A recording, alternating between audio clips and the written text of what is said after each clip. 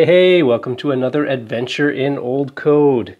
Today we're going to take a look at what I expect to be uh, one of my brother's programs. It's called 7S. 7S. So let's, okay, 7S. Let's have a look. It might not be my brother's program.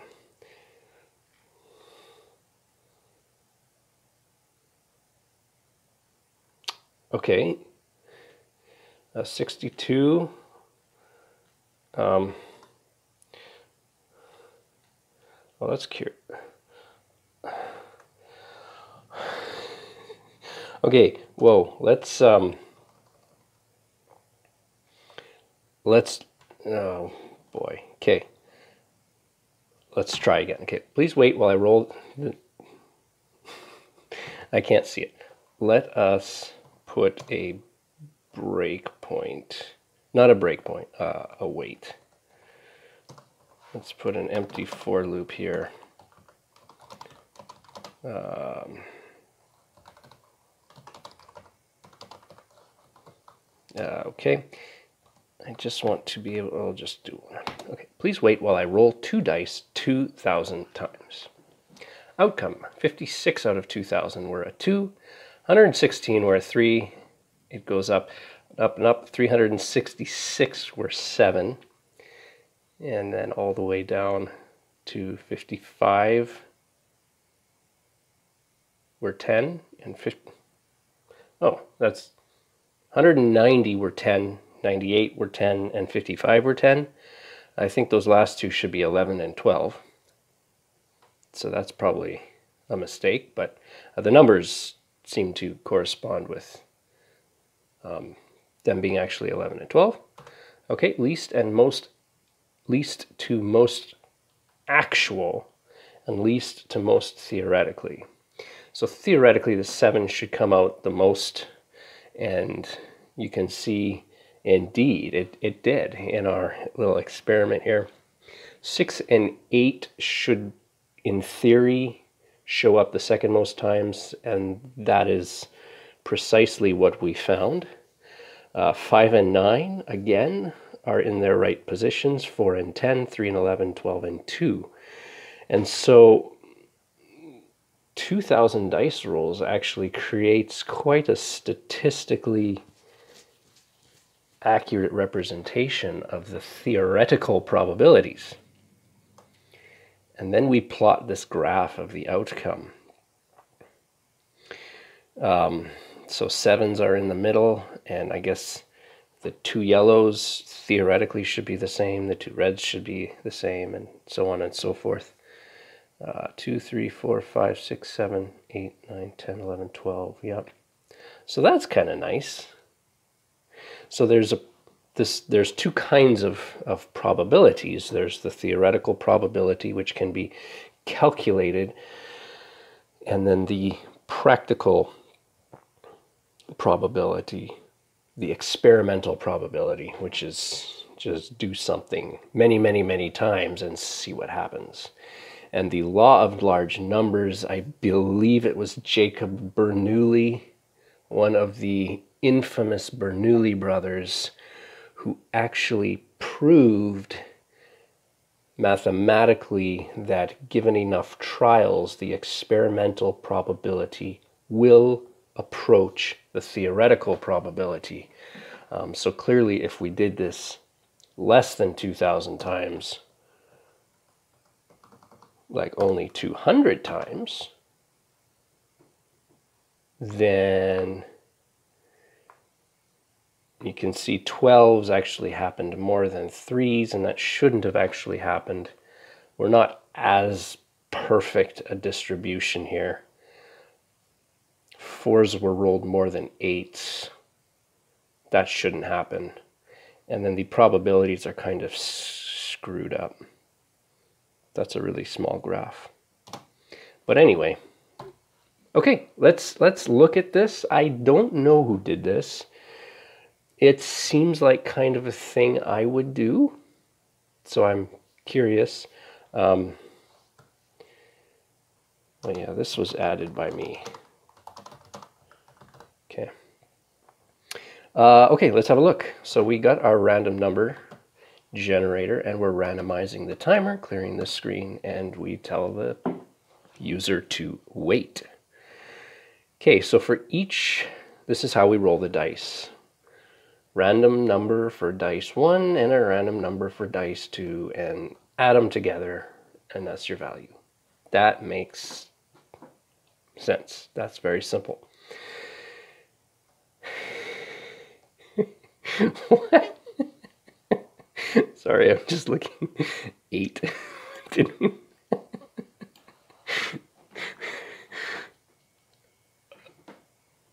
okay.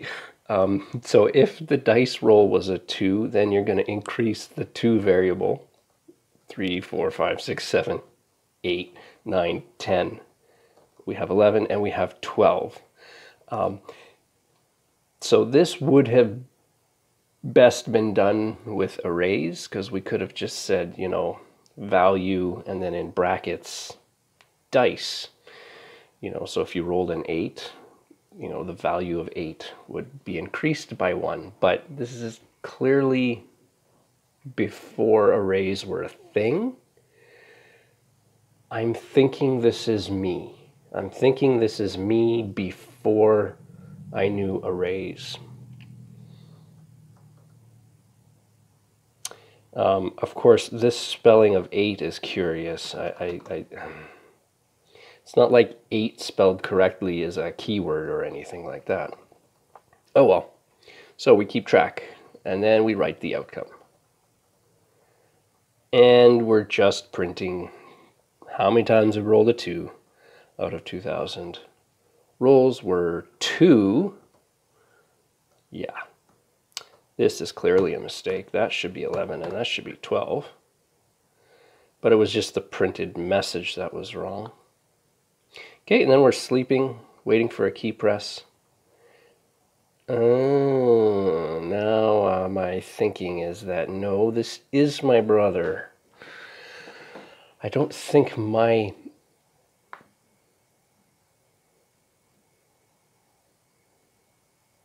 What is that noise? Oh, that's outside. Uh, anyhow, that's really loud.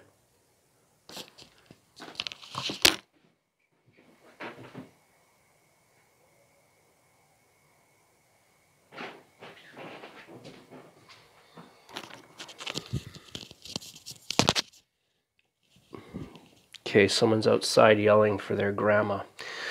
Okay, um, I don't think it was my style to use the variable name dir, and so I think this is my brother now. I don't know. Okay, um, if dir e equals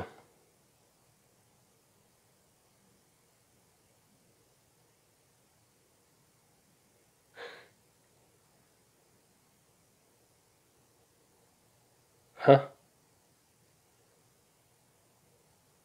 What? Huh? Okay, go from one to two. Wait a second.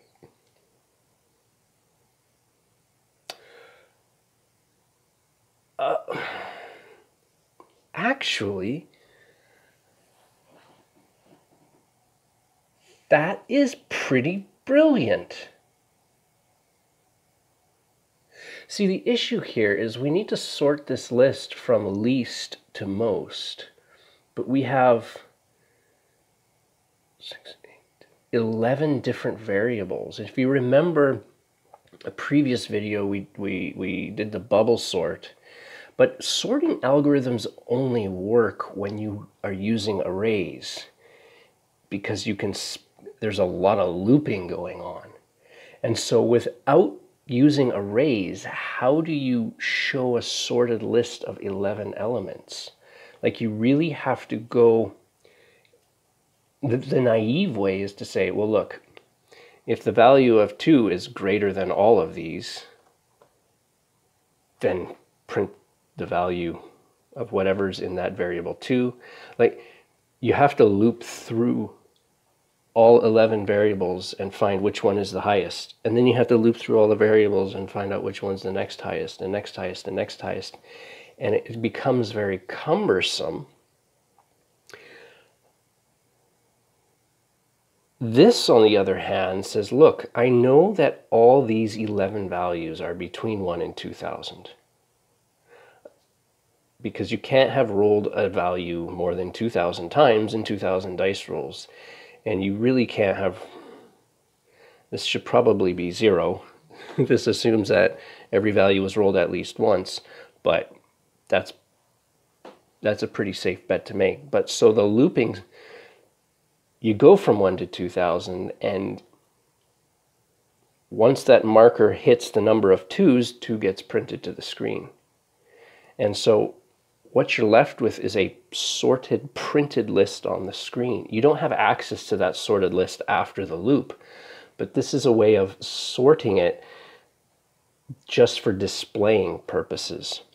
And so that is great. So it keeps going. So if there were 56 twos, for instance, and 100 threes, then when dir was 56, okay, dir was the number of twos then we print 2 first. We keep going through the loop. Now dir is 100. Oh, that's equal to 3. So then we print 3, and 2 and 3 are printed in their actual order. That's pretty cool. At first, it's like, why, why are you doing this? But how else are you going to display a printed list, sorted list? Okay, that's cool. All right, and then we're going to print the least to most uh, in theory. And that never changes. 2 and 12, 3 and 11, 4 and 10, 5, 9, 6 and 8, and then 7. So that's cool. Then we sleep again. We're going to ask for more input. Clear the screen. Then we go into screen 12. Print this graph of the outcome. And so the bottom of the graph is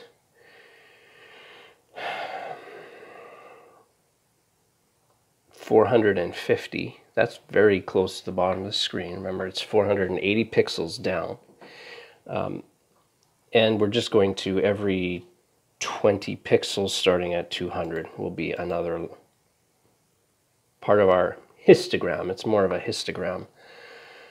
And so the way we're doing this is we're converting the actual number to pixels. There's no yeah, there's no scaling here. So if there were 56 twos rolled, that two bar will be 56 pixels high. Um, so we're drawing a line from 450 up to 450 minus the number of twos. So if there were 50, it would draw the line from 450 to 400, which is goes straight up. And here's the different colors. So that's that's the color green, which is the same color as 12. 4 and 4. Anyway, that's pretty darn cool. Okay, uh, then we're sleeping for two seconds. That's it.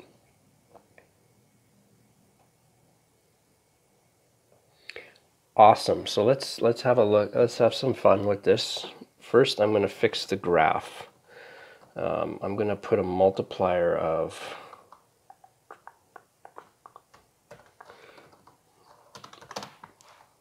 times our multiplier.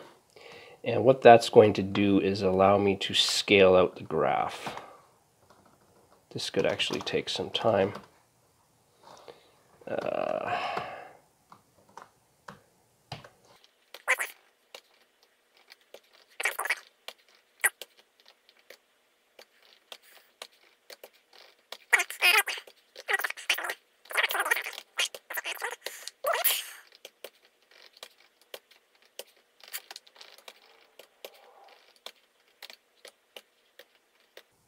Okay, so that's done. Um, so if I make the multiplier 1, then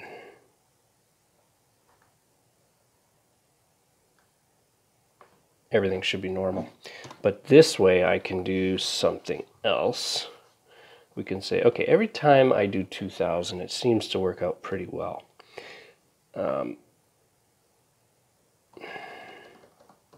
but what if I only did 1,000? What happens then? So this is only 1,000, and you can see that it's a little, little less great. Fives and nines are not together. Nines and uh, eights and sixes are not together. And the graph looks a little funky. And it's smaller, so that's why I added the, multi the multiplier. I can come down here. Ay, ay, ay. You know what? I'm going to move this up here. Okay, multiplier. And if I set it to 2, that graph will be big again. It still looks okay. So let's let's have it even again. And this time our multiplier will be 4. Okay. Get that graph. It's it's still got some sort of a shape. So 500 is, is okay. We still got a little mix up pieces. It's getting less awesome. We'll half it again and we'll make it 8. And again, it's not so bad. It's really not so bad. Sevens are always the winner. So let's make the multiplier 16 and half this again.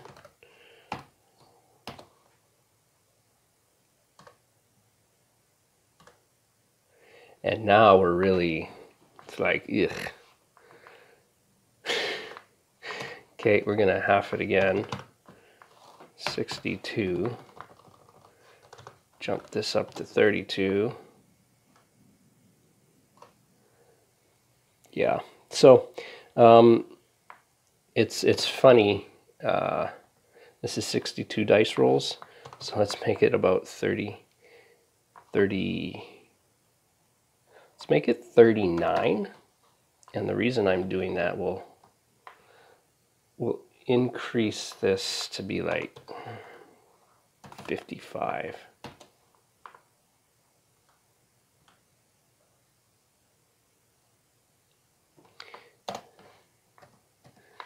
Maybe we'll make it 50. That's too much. Uh, I am doing this here we go. Um, so I, I always enjoy playing a good game of Settlers of Catan. And I've played with people who seem to be really, um, you know, human intuition is that when something is random, everything should follow a pattern. and inherently, that's not what randomness is. Um, we like nice distributions, and patterns don't exist in true random sequences. But I've played with people, I've played Settlers of Catan with people, and, and the reason I chose Settlers of Catan is 30, whatever I chose here, uh, 39 rolls of the dice is kind of, kind of uh, as many rolls in a game of Settlers of Catan. And you know, if 11s are rolled way more often than sixes, every, you know, people think that, oh, the universe is out to get them or something like that. And I even knew of one person who actually thought that there was actually something almost spiritual going on. Um, anyway, uh, the, the, the case, that, but the, in reality, 39 rolls of the dice are not enough to give you that theoretical probability distribution. You can see here, this is representative of another game of Settlers of Catan. Sevens are rolled less than sixes or eights. They're even rolled less than threes. But when you take so few samples, this becomes possible. And 39 rolls of the dice are just not enough to see a nice distribution. Anyway, that's cool. Um, let's actually bring this up to 4,000 and we'll bring the multiplier down to 0.5. This should show a much nicer graph even than what we were seeing originally. Look at that, it's almost perfect. Almost perfect. And that's thanks to, I guess it's not thanks to uh, Jacob Bernoulli, but it is thanks to his his law of large numbers that we can actually understand what's going on here. But true randomness, and these aren't true random values, these are pseudo-random values. Um, but it's, it's, it's random enough for our purposes. So with 4,000 dice rolls, we get this distribution. Very, very nice. Uh, we can even go up to 8,000, knock this down to 0.25, and let's no longer do this waiting.